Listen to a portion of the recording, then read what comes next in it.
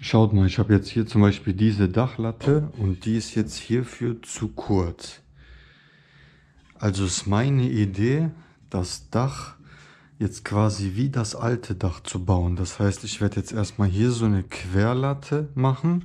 Dann komme ich da ein bisschen rein. Das Ganze auf der Seite genauso.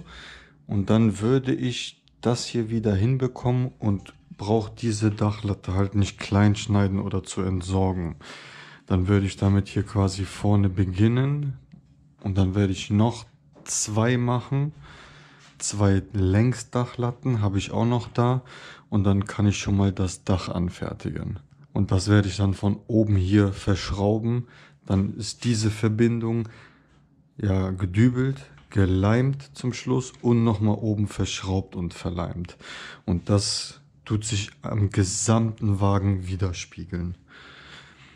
Hier vorne habe ich jetzt auch geplant, das hier unter die Plexiglasscheibe zu planen, denn ich brauche für den Motor auch eine Auflagefläche und das werde ich dann hier gegenschrauben. Dann werden wir die später sehen. Ich werde die wahrscheinlich schwarz machen, damit das nicht so auffällt. Diese Dachlatte werde ich quasi hier drunter befestigen. Quasi hier, wie die jetzt so liegt, nur tiefer. Und dann ist das auch quasi so ein ja, stabiler Punkt hier vorne. Also dann könnte man sich quasi gefühlt wirklich da draufsetzen. Würde ich zwar jetzt nicht machen, aber... Und dann ist das Ganze halt vorne nochmal schön abgefangen. Dann, wie wir hier sehen, ist da einmal diese Leiste. Die werde ich quasi nicht 4 cm oben planen, sondern unten bündig setzen. Quasi hier hier ist das Brett und ich werde die Latte dann ab da anfangen zu schrauben. Genauso wie die Latte hier. Und die werde ich quasi an die Tür machen und die läuft halt hinten komplett durch. Und hier vorne brauche ich eigentlich nicht mehr viel. Quasi nur noch die nach hinten, nach unten ja, und paar Zentimeter nach da. Die sind jetzt zu lang.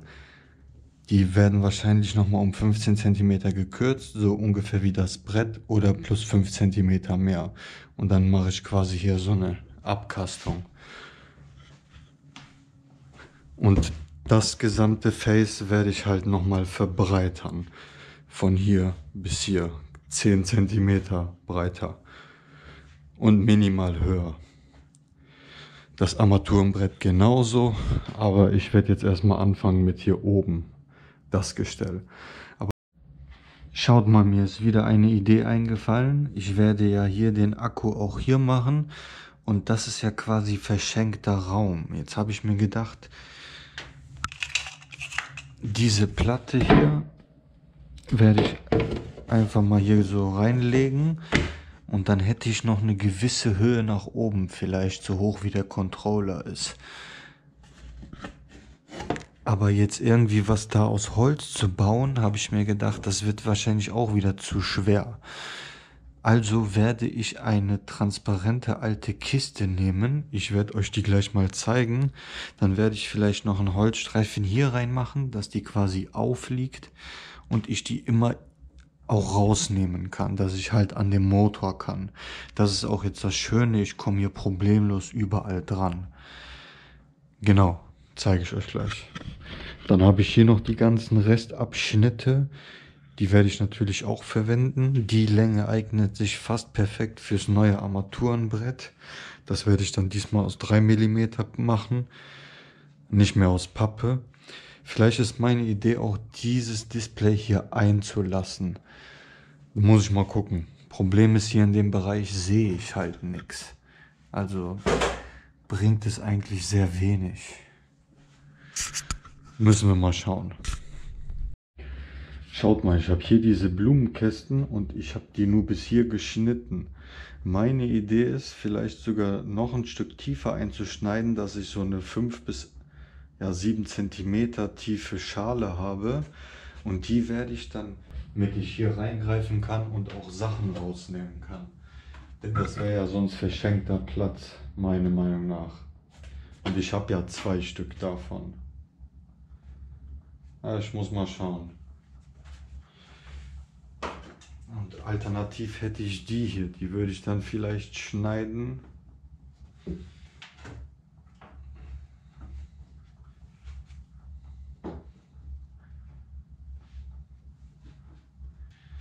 Also wenn der Controller nicht da wäre, wird die passen. Ja, ich weiß nicht. Mal schauen. Da gefällt mir die Idee schon ein bisschen besser. Ja, mal schauen.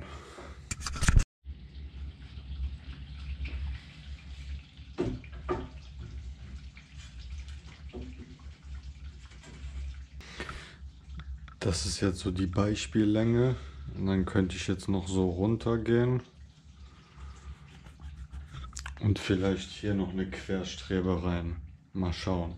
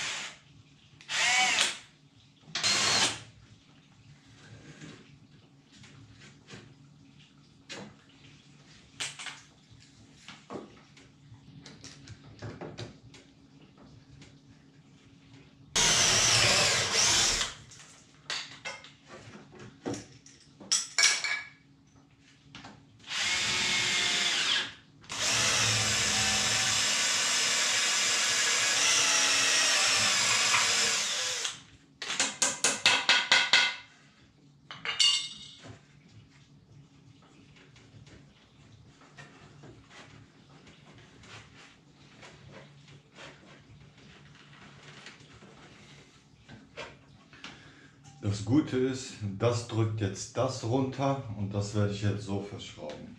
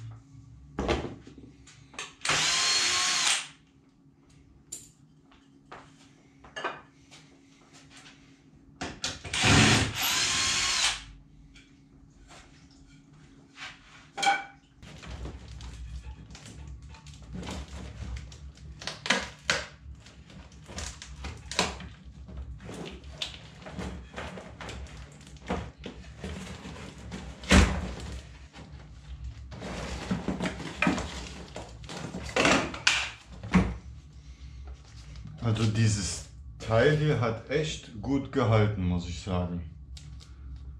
Und ist schön leicht. Und quillt nicht auf, weil es halt abgedichtet ist.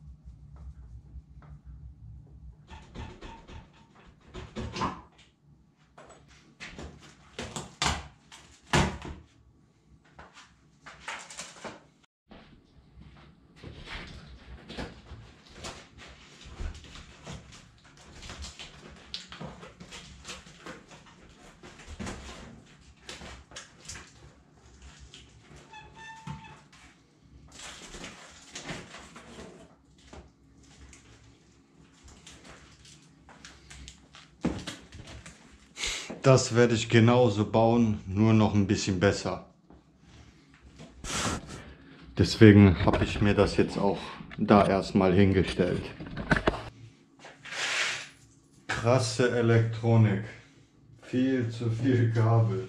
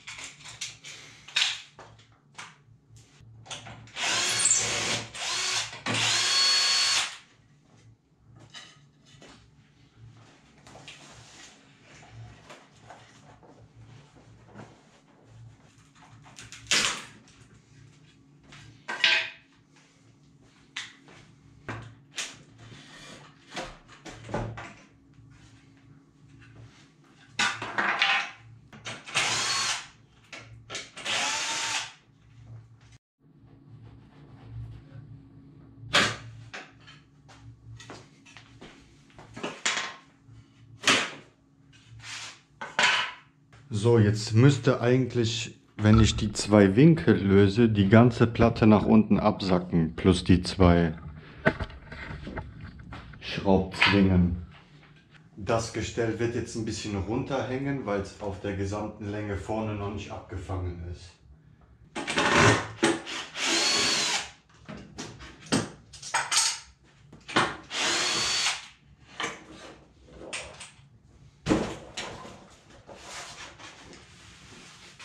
Ja, wie ich gesagt habe. Das Ganze hängt nur noch da hinten an drei Schrauben.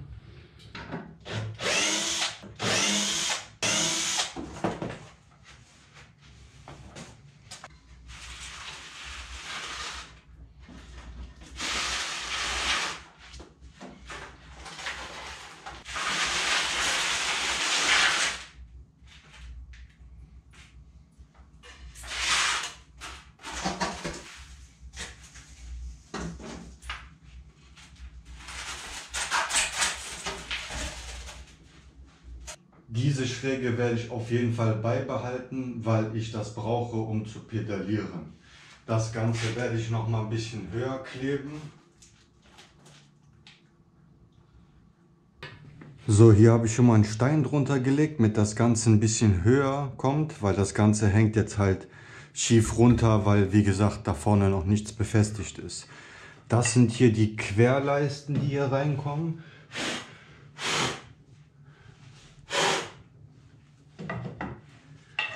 Eins, zwei. Das Ganze werde ich so verschrauben und so verschrauben. Und dann werde ich mir die Höhe nach oben messen und das ganze Gestell nach oben befestigen. Und hier vorne machen wir dann später weiter. Schaut mal, ich habe mir jetzt mit diesem Krepppapier quasi das verlängert bis nach außen. Und das Ganze ist jetzt halt bündig so und bündig so. Das heißt, ich kann jetzt quasi nach hier hochbauen und nach vorne. Das ist quasi mein Anhaltspunkt, wie gesagt, mit ich auch pedalieren kann. Genau, als nächstes werde ich jetzt dieses Brett genau anfertigen, auf dem Maß mit alles so ist, wie es steht.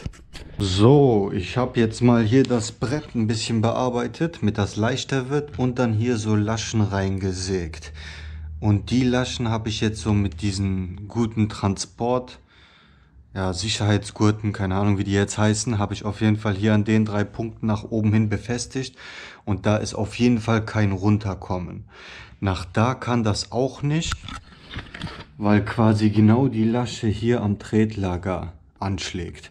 Nach da kann das auch nicht, weil ich die Pappe nach da verschraube. Und das Ganze habe ich jetzt hier so gelöst mit zwei Winkeln, eine M5 Mutter da durchgeschraubt und mit Winkeln nach unten, nach oben geschraubt. Das Ganze hängt jetzt erstmal auf den Zwingen das soll quasi die Schrauben jetzt erstmal ersetzen und eigentlich kann ich jetzt die Latte wegnehmen und das Ganze dürfte nicht mehr absacken. Wir werden mal schauen. Klar, minimal sackt das ab, aber jetzt hängt es quasi nach oben, hier nach unten und die Zwingen ziehen das wieder nach oben.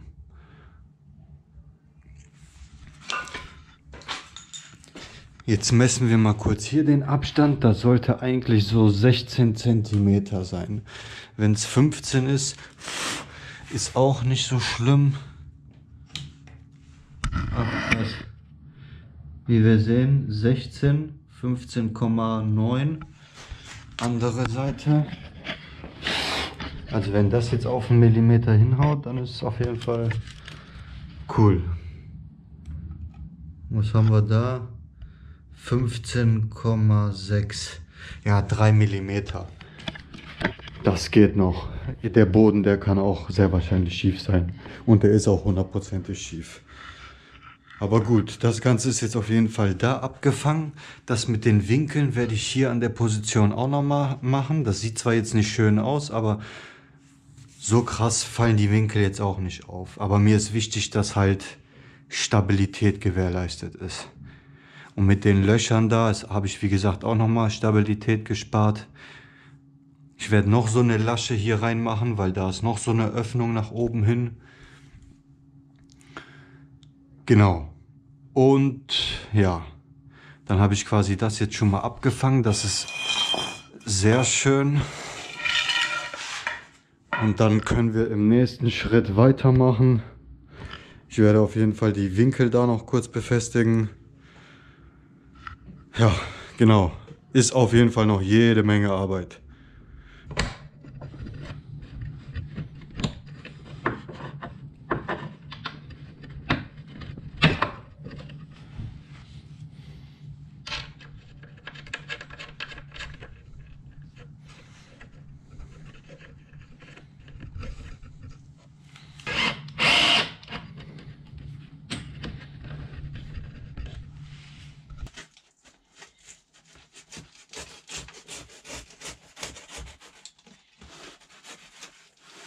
So liegt das quasi.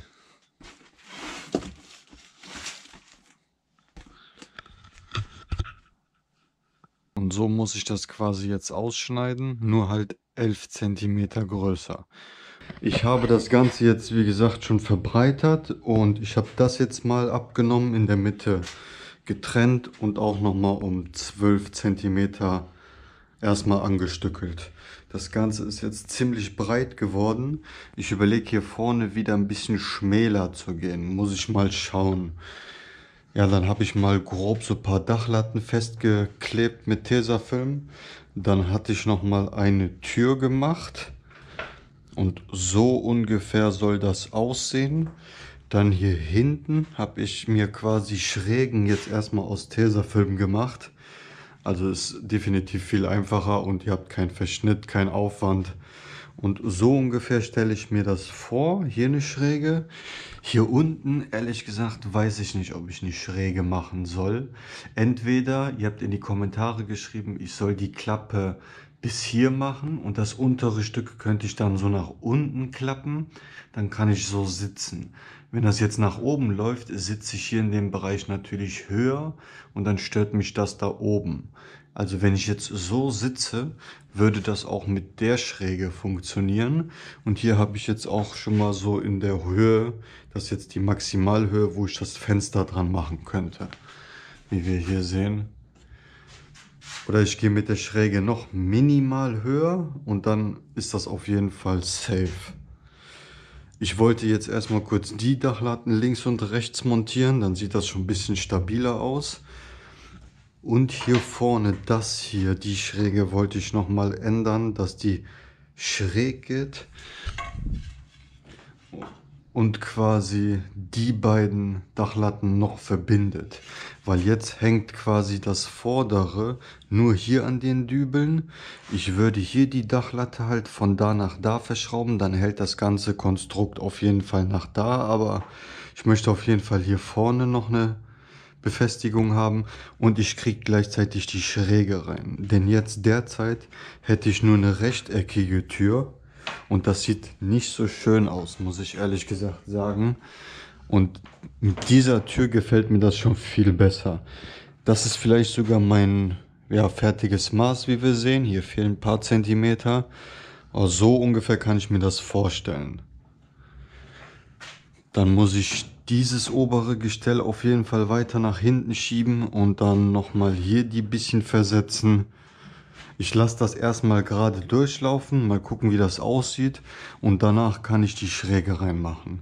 Weil wenn ich jetzt die Schräge mache, dann ist das halt zu kurz und ja, aber mit Schräge sieht das definitiv schon viel, viel besser aus. Könnt ihr auch mal gerne in die Kommentare schreiben. Ja, und hier unten, ja, wie gesagt, bin ich mir noch nicht sicher. Das Problem ist, wenn ich jetzt hier eine zweigeteilte Klappe mache, habe ich wiederum noch mehr Gewicht, weil diese Teilung braucht ja auch wiederum zwei Dachlatten und dann wiederum eine Befestigung nach links und rechts und nach oben hin und ja, das Problem ist, das summiert sich alles, deswegen. Hier kommen ja noch zwei Dachlatten rein, also ich muss noch vier, maximal fünf Stück kaufen, weil die ja quasi durchgehen bis hierhin ungefähr. Dann brauche ich noch mal zwei komplette Dachlatten für die Tür, weil ich ja hier eine Fräsung reinmache, da eine Fräsung und ja, ist noch jede Menge Arbeit, aber kriegen wir hin. Also sieht schon nice aus, muss ich sagen. Aber ich werde jetzt mal kurz die hier eben machen.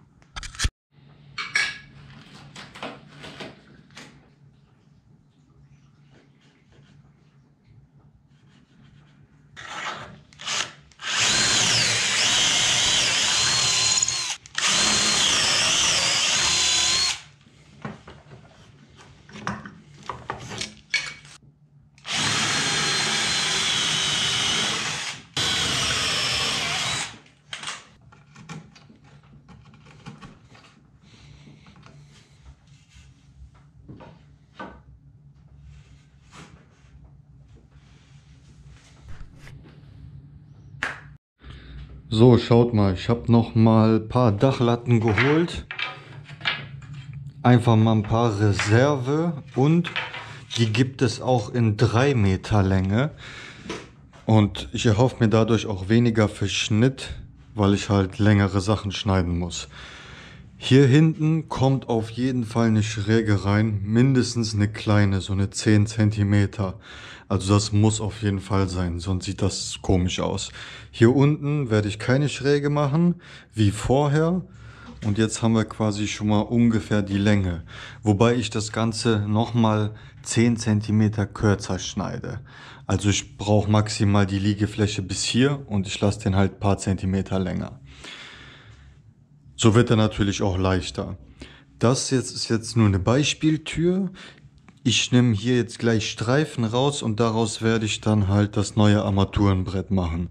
Das wird ja jetzt länger und ja, mit dem Display muss ich mal schauen. Ich habe vorne das jetzt äh, erstmal, wie gesagt, verbreitert und ja, ich weiß nicht, das sieht irgendwie ein bisschen komisch aus, wenn ich das jetzt so breiter gezogen habe. Aber ich muss sagen, hier drin habe ich jetzt extrem viel Platz. Das ist sehr gut. Ja, Auf jeden Fall werden wir mal weitermachen.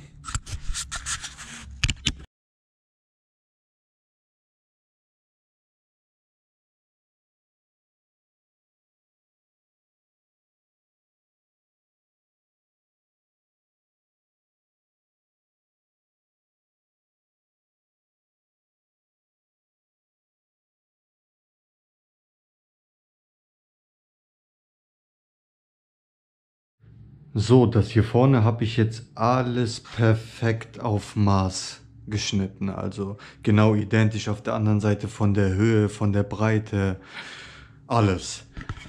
Auf jeden Fall, was ich jetzt mache, ist einmal mir, ich ziehe mir das Maß jetzt nach vorne. Ich lege einfach eine Dachlatte dahin und unterkante Brett werde ich dann das Klappbrett montieren. Das heißt, ich werde mir jetzt hier einen Strich ziehen, links und rechts und so kann ich die Leiste auch perfekt ausrichten. Das Ganze mache ich dann auf der anderen Seite auch. Und dann haben wir schon mal einen Fixpunkt. Und danach müssen wir gucken, wo wir den Tisch hinmachen. Ich muss gucken, wo das Armaturenbrett dementsprechend hinkommt. Ja, alles nicht einfach, aber machbar.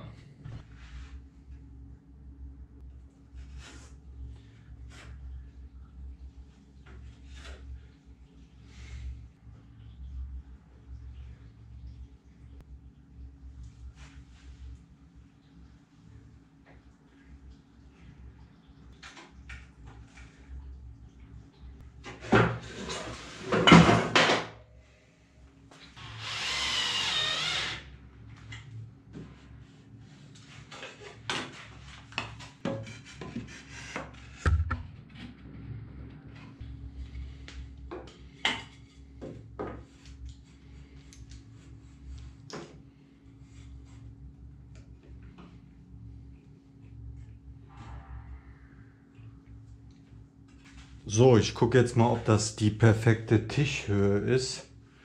Ich werde mich jetzt gleich mal reinsetzen und einfach mal schauen.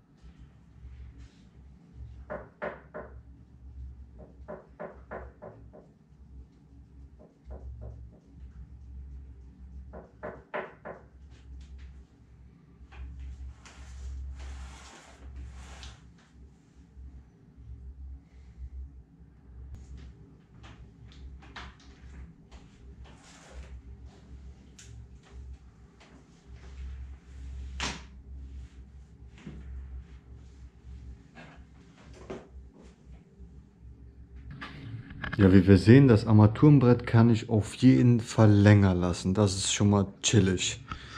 Die Höhe scheint mir auch einigermaßen okay zu sein. Ich werde das nochmal genau auspositionieren. Die Latte nochmal nach hinten ziehen und hier hinten sitzen und dann gucken. Aber ansonsten kann ich gleich schon mal die Länge des Armaturenbrettes anfertigen. Schaut mal, ich habe wieder einiges verändert. Ich habe jetzt mal hier diese Leisten reingezogen und das soll quasi ja meine Auflage fürs Armaturenbrett sein. Und wenn wir jetzt mal hier unten drunter gucken, wir haben genau eine Flucht hiermit. Das heißt, ich kann mein Brett wunderschön hier drunter schieben, vielleicht sogar V-förmig anordnen, je nachdem. Lenker runterklappen und nach hinten ziehen, bis hierhin. Jetzt habe ich mal geguckt. Ich kann das hier hochklappen.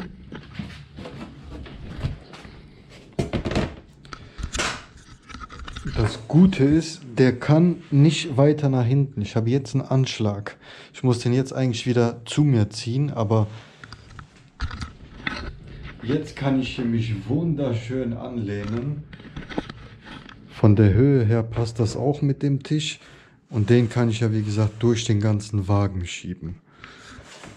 Die Leisten werden noch natürlich gekürzt. Das Gute ist, ich könnte die auch jetzt so verschrauben. Allerdings kommt hier die Fräsung hin. Muss ich mal schauen, wie ich das hiermit mache. Ah, wird schon irgendwie. Also das hier ist richtig genial. Das ist quasi ja zwei in ein. Wenn ich den jetzt zurück mache, geht der halt komplett runter.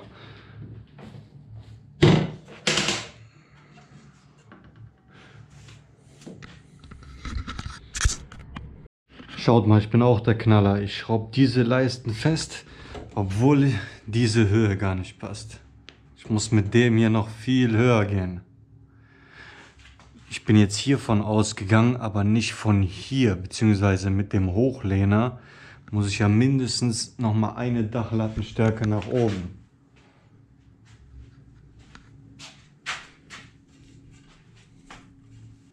Und wenn wir mal gucken, dann ist das immer noch zu wenig. Das heißt,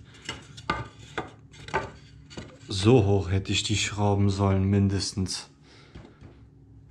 Eieieiei. Jetzt habe ich hier vorne Bohrlöcher in dem Innenbereich. Das regt mich jetzt ein bisschen auf. Na gut, passiert. Auf jeden Fall habe ich diesen Raum hier als Klappe dann. Je nachdem, wie weit ich das hier nach vorne plane. Bis hier kann ich das auf jeden Fall planen, wie wir sehen. Ich gehe wahrscheinlich noch einen Ticken weiter nach hinten. Nur minimal, so maximal. Aber wir sehen schon, dass das Armaturenbrett mindestens ja, fast 10 cm länger wird.